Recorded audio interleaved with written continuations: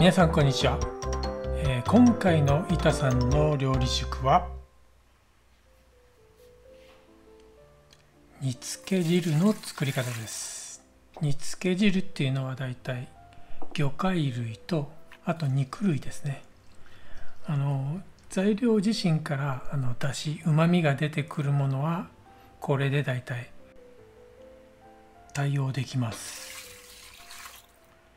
あと材料がね水とあと日本酒とみりん本みりんとあと醤油。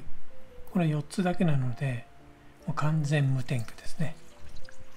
ではまああの分量がね大体分かりやすい分量なのでまあ1回沸騰させるだけなのでまあ簡単ですね。あんまりこれ煮詰めない。煮詰めちゃうとせっかくのアルコール分が全部飛んじゃうのでもう一回沸騰させるだけ。まあ僕が作る場合は水とあと日本酒と本みりんを沸かしてでその後に醤油を入れてでまた沸騰したらそれで出来上がりです。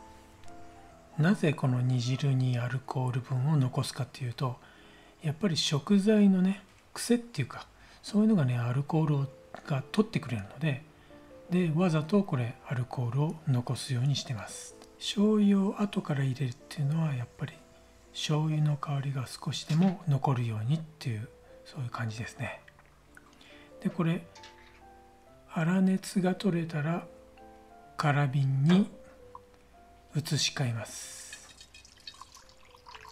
こんな空瓶でもいいですしあとペットボトルでもいいですしまあ100均とかでまあ専用のこんなボトルが売っているのでそういうのに移しても OK です。最初はカレーの煮付けです。まあ材料はカレーとあとごぼうと千切りの生姜。であとさっきの作った煮汁ですね。煮汁の量はあの身がねちょっと頭が出るぐらいのそのぐらいの量です。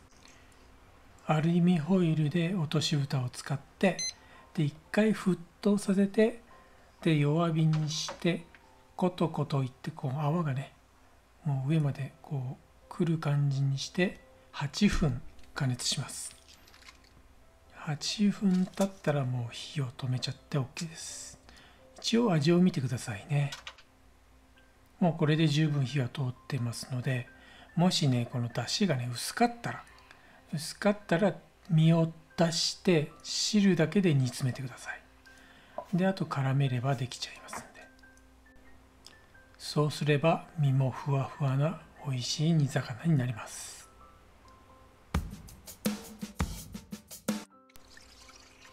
次はイカと里芋の煮物です。最初にねまずだしを入れます。そしてこのスルメイカですね今回は。スルメイカをこんな感じで輪切りにしたものを最初に入れます。この内臓は取ってありますんで。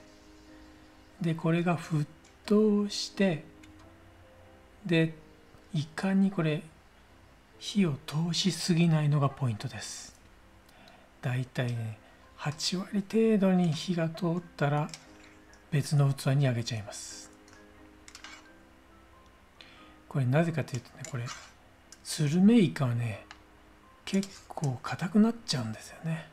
ヤリカの場合はそんなに硬くはならないんですけどスルメイカで作る場合はもう沸騰したらこれ別の器にあげちゃってください。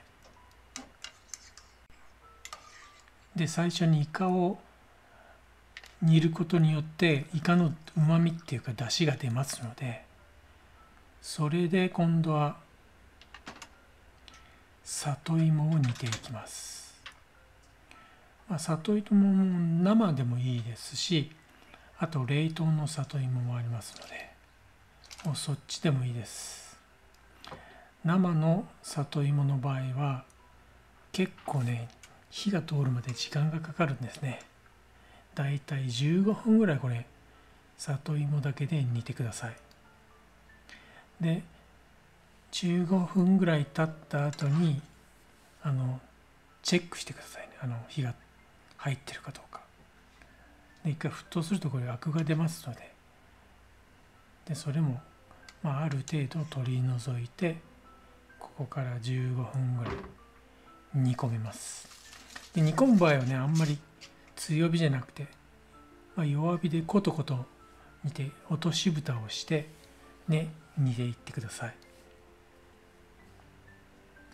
冷凍のねあの里芋の場合は結構早く火が通りますのでまあそこら辺は時間が経ってからチェックしてください。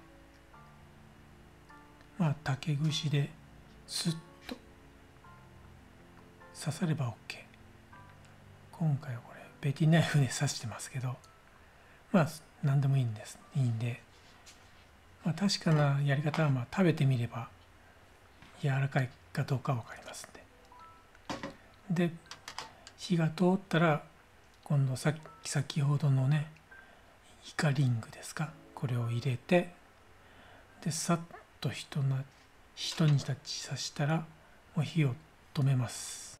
しっかり味が染み込ませたい場合は1日置いてください。そして最後はアワビのうま煮です。このアワビはですねまあ韓国産のね養殖なんですけど刺身用でねこれ生きてました。なのでもうアワビの場合はねやっぱりあの生きたまま煮た方が柔らかく仕上がります。で刺身の場合はね塩をこうつけて磨くんですけどまあ、今回は煮物なのでもう倒して表面を洗うだけにしました。